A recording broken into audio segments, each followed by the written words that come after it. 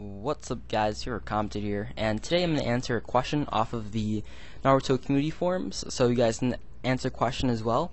But today's question is, which clan do you guys like best out of the seven clans? The Kaguya clan, excuse me if I pronounced that wrong, which is the Bone clan, you know, the guy with the bone abilities.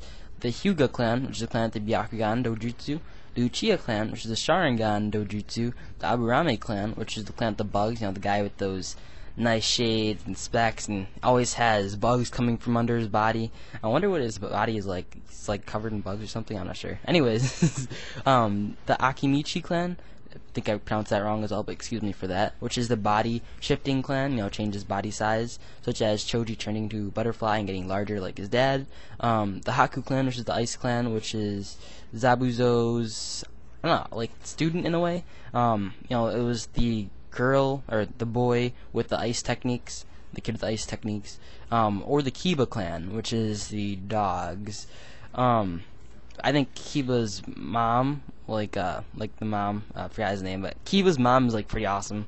Um, anyways, with that being said, let's answer it. The only problem I have with this question is the Uchiha clan. Right when there's an OP clan, like, for those you don't know, Uchiha is definitely OP clan. Right when the OP clan is put out, I think automatically everybody's mindset is to pick that clan, just because it's one of those clans that can take out any other clan in its way, you know? Like Byakugan, Sharingan's got that. Bug clan, Sharingan's got that. Of course, they all do have their pros and cons.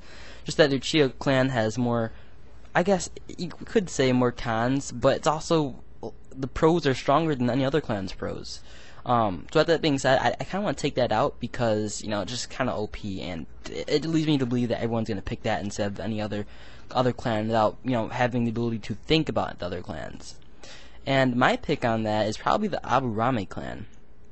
I know you guys are probably like Hyuga Clan, Hyuga Clan, just because it's a dojutsu, and uh, dojutsus are really strong and powerful, no doubt about that. Um, think think about what the Byakugan clan has, the Hyuga clan has. They can they have the ability to see your vital points, yes, and uh, you know they can cause it so they, well they can potentially control you by hitting your certain amount of vital points and whatnot. Um, they can see through anything, and not only that, they have 360 degrees of view. So basically, there's like a huge radar in a way. But I don't want to label them just being a radar. Um, the Aburame clan, I'm not sure. Like I've always liked bugs since I was a little kid. So it was either the Aburame clan or the Haku's clan. Now, I want to say the Aburame clan has the distance. Like, of course, you guys have seen um, Aburame clan doing some distance attacks. Uh, I, I can't. I don't know his name off the top of my head and uh, you've seen some distance attacks. And if you think about it, the dogs and the which is Kiba's clan, the dogs and the Dojutsu clan, um, well, I guess Byakugan clan.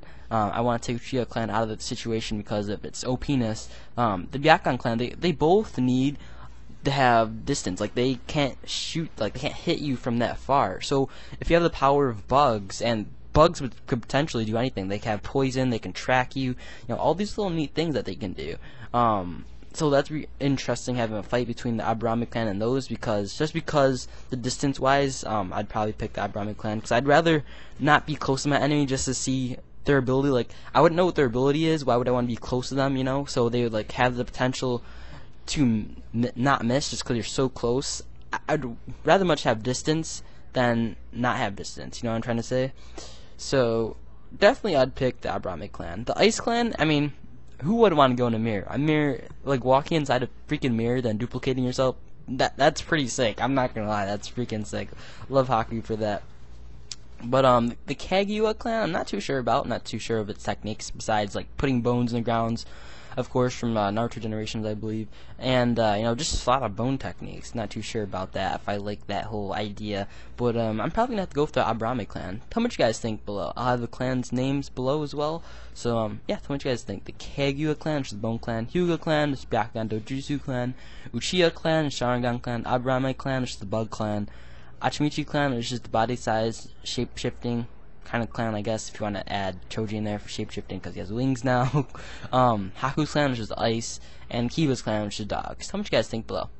And with that being said, peace out, guys, and have a nice day.